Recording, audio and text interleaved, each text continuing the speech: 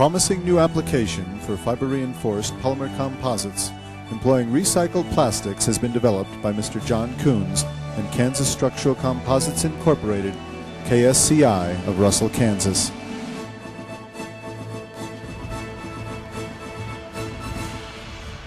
The world's first practical demonstration of this new bridge building concept is a 21 foot span over No Name Creek in Russell County, Kansas.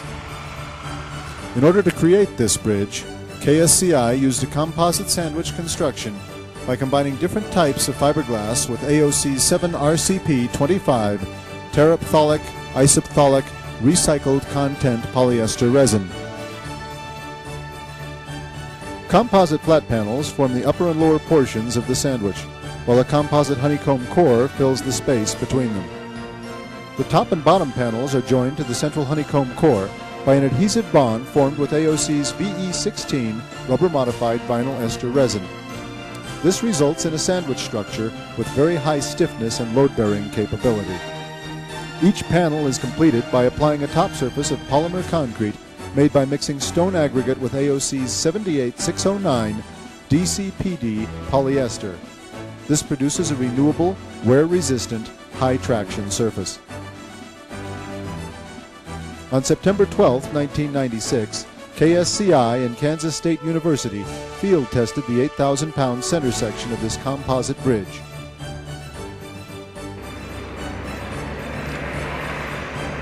Here's, here's the big one. This is the big one.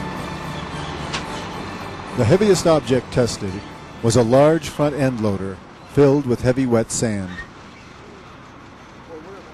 A load with an axle weight of 62,200 pounds.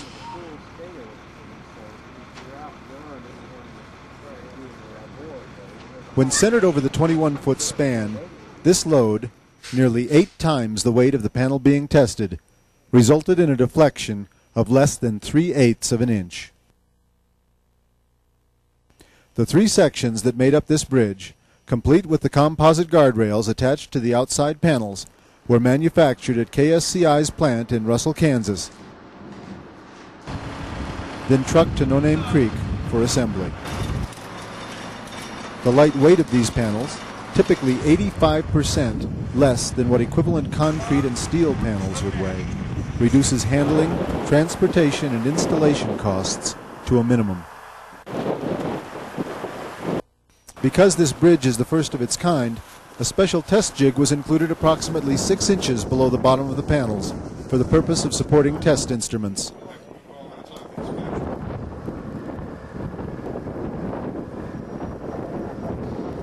Each of the bridge's three panels is 23 feet 3 inches long, 9 feet wide, and 22 inches thick.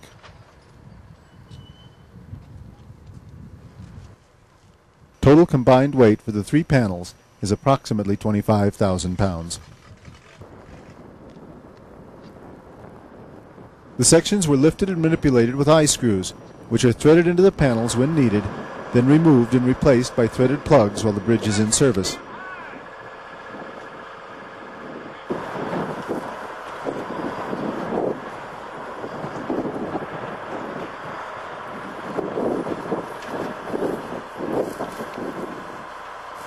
First, the sections were set in place and checked for proper fit.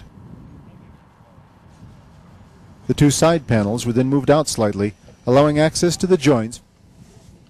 Got a couple of them there. I'll make sure another guy loose with them. How, how many can you plug in on your unit? How many cords?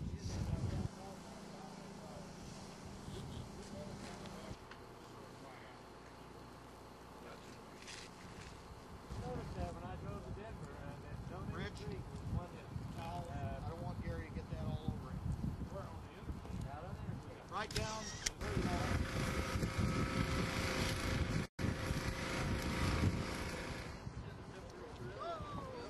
Oh man, the big guy got on there.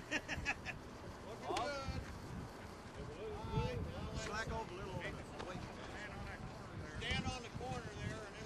The pieces were then moved into place using a light crane, ropes, chains, and boomers.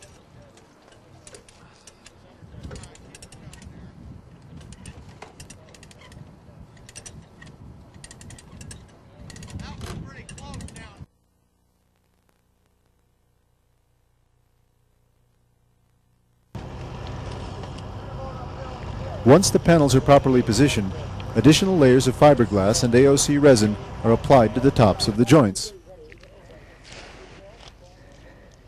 We're gonna move the crane, so watch yourself, you guys. Okay. New joints have been designed for the next generation of bridges. These will make installation even faster and easier, virtually eliminating the need for layup, bonding, and polymer concrete work during installation.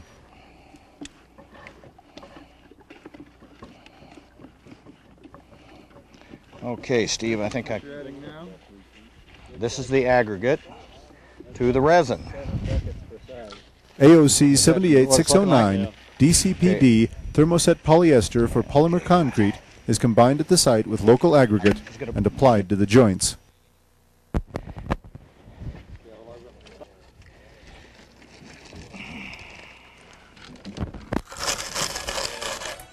A sprinkling of sand finishes those joints. The world's first fiber reinforced polymer honeycomb bridge for vehicular traffic opened to the public on November 9, 1996, over No Name Creek. The official ribbon cutting on December 4, 1996, was performed by Secretary E. Dean Carlson of the Kansas Department of Transportation.